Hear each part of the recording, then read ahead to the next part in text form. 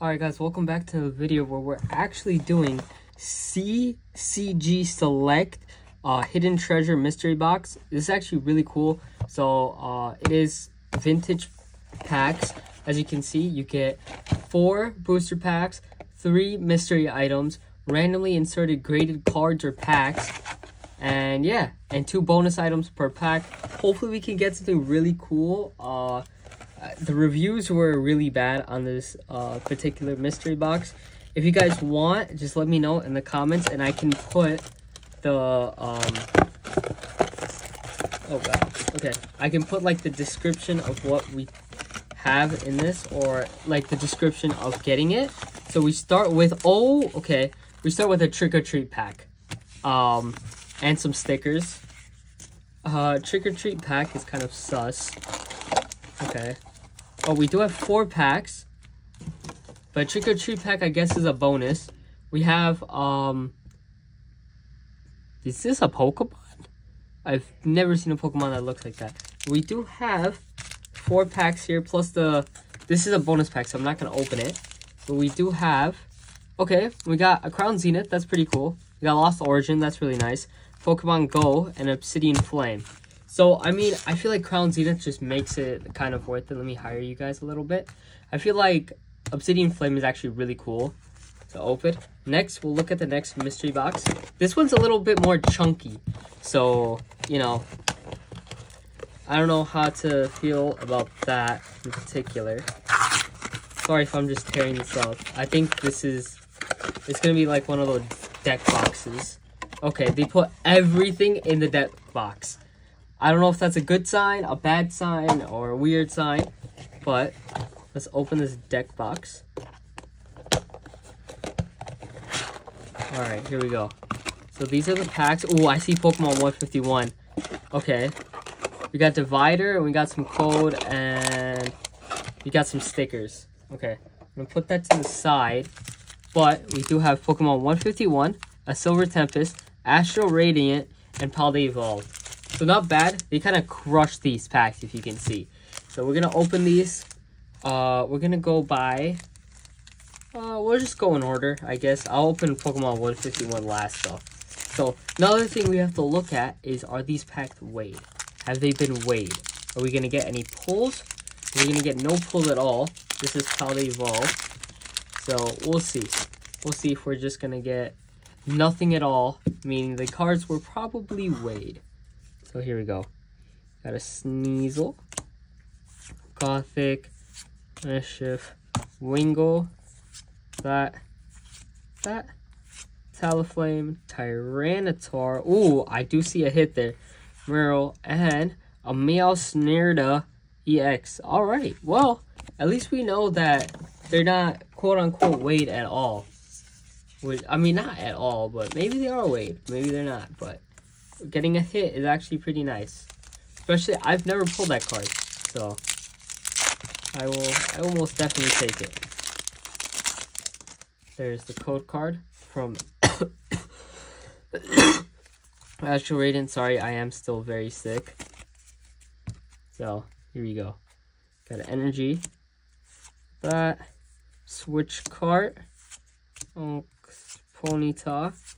Got Psyduck, Petal, Stantler, that, and ended on an Arcanine, Hisuian.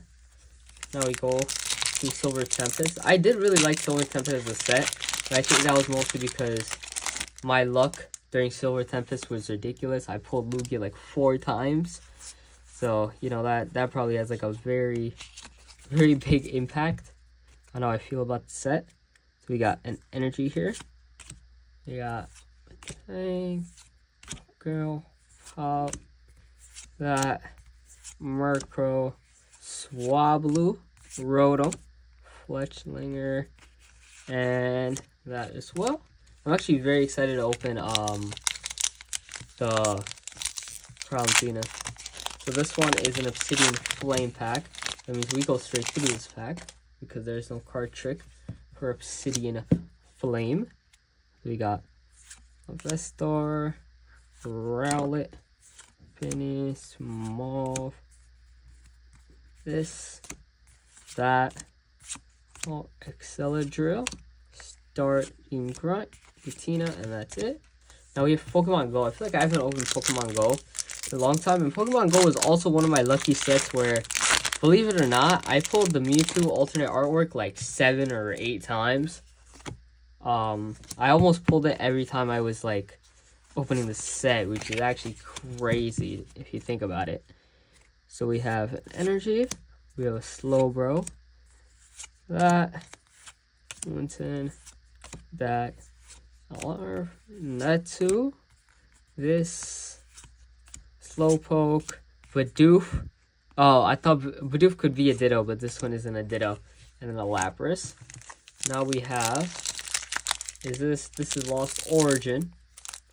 I I have not actually ever pulled the Giratina alternate artwork of this set. So I would love to.